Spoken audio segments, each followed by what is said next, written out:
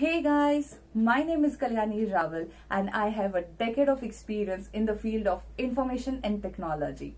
I would love to share my experience using this channel. We will deep dive around two major areas. One is RPA and second is data and analytics. RPA stands for Robotic Process Automation where you build a robot for yourself and automate the tasks that are repetitive and mundane.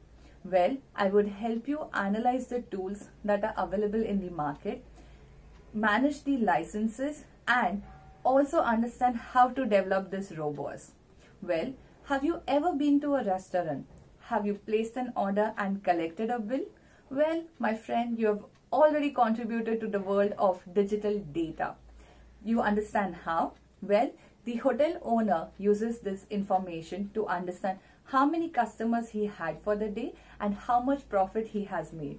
Well, I can help you store your data, organize the stored data, perform analysis on this data to give you meaningful insight that will help you grow your business.